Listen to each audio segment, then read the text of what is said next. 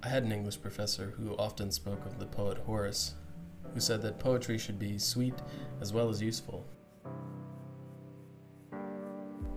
This mantra has stuck with me, and I've tried to incorporate it into most aspects of my life my career, my relationships, my artistic work. I try to ensure that they're both sweet and useful. Many of life's lessons don't seem like they will be either sweet or useful. Take this rough piece of wood, for instance. It violently resists the gouge and refuses to be shaped until it's approached gently. As the rough exterior is carefully peeled away, we find the beautiful material that we were hoping for.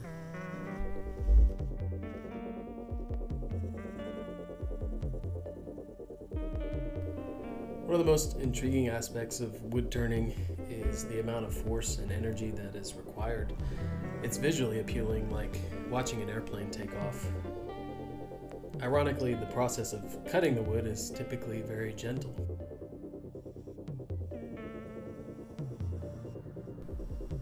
I like to incorporate some element of that irony into my pieces. I like them to be both delicate and imposing.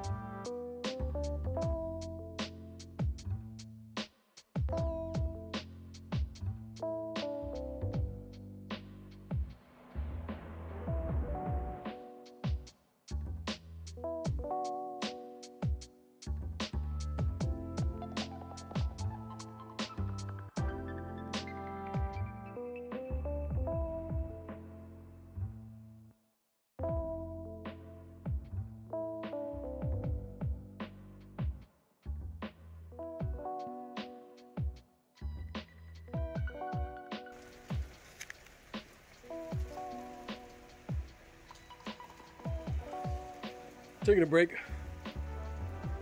letting the shop air out, letting our bowl dry. Got some sanding sealer on it. Uh, I'm probably just to sand the inside and outside. Start working on the feet.